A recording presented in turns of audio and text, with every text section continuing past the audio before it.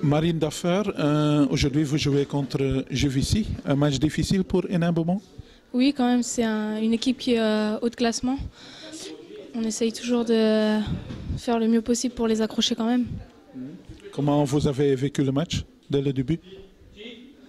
Euh, C'était difficile, mais bon, on s'est rattrapé deuxième mi-temps.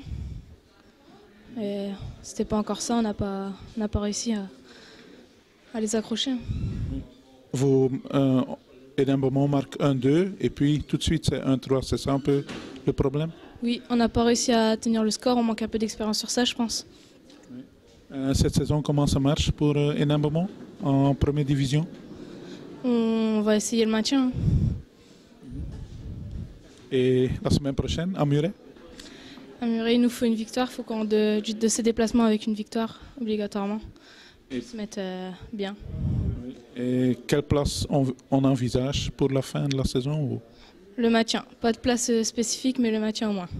Et pour vous-même, qu'est-ce que vous voulez faire cette saison en équipe? C'est votre première saison à un moment? Non, c'est ma troisième saison à Hénin Beaumont. J'ai connu la descente et la remontée. Et j'espère que cette année, on va réussir à se maintenir. À se maintenir pardon. Donc ce sera autre chose comme les deux années précédentes. Oui, voilà. Ok, merci, bonne chance. Merci. Au revoir.